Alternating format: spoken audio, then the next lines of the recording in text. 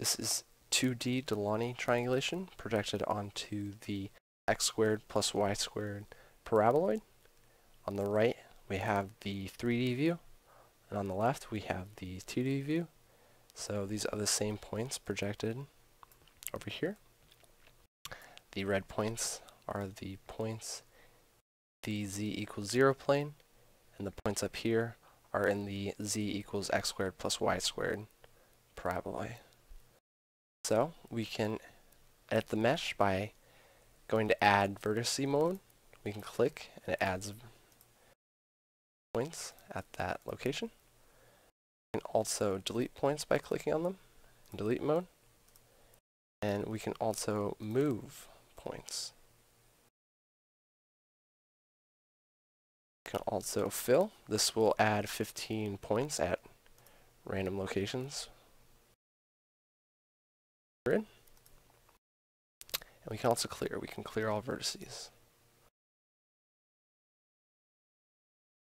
Add a few points back. And then for edges, we can manually add edges where we select two vertexes. And also delete edge. And also do auto where it fills it between vertices. Fill. Here, clear will the edges.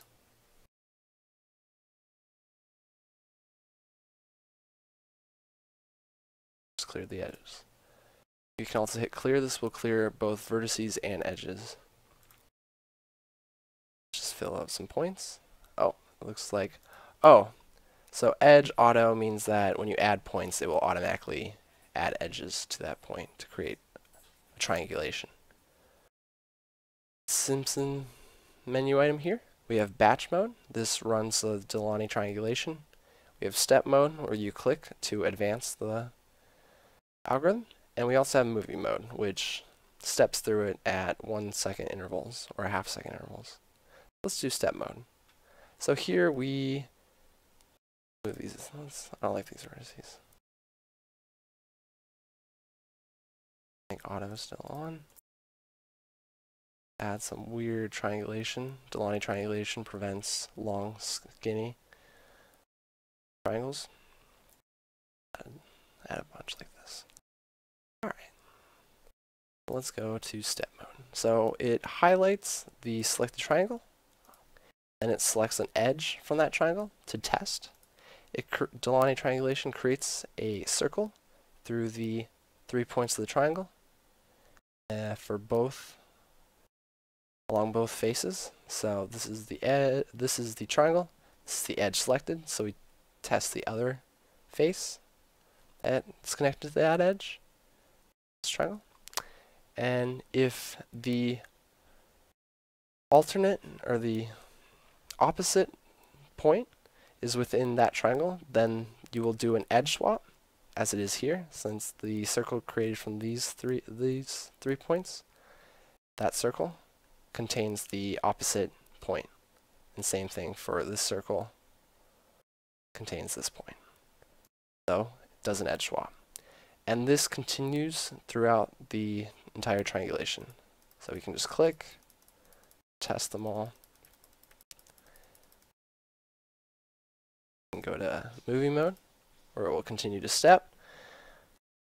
The data structure that holds these in is split edge data structure. So we have an edge going this way, and we also have an edge going this way. It's one edge, but in the data structure it's two.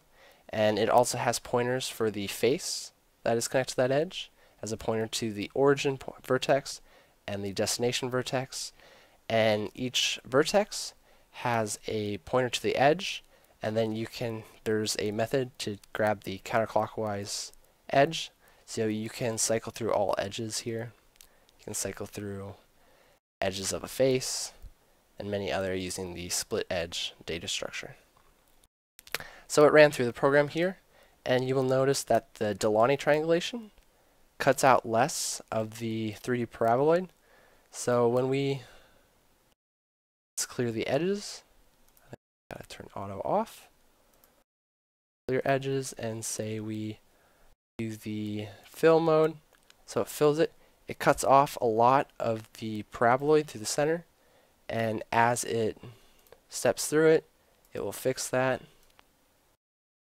So these edges going through the center of the paraboloid swapped. So it's more like the x squared plus y squared paraboloid. And to and also these menu items up here toggle whether the x-axis red bar here is showing or not and the y-axis green bar.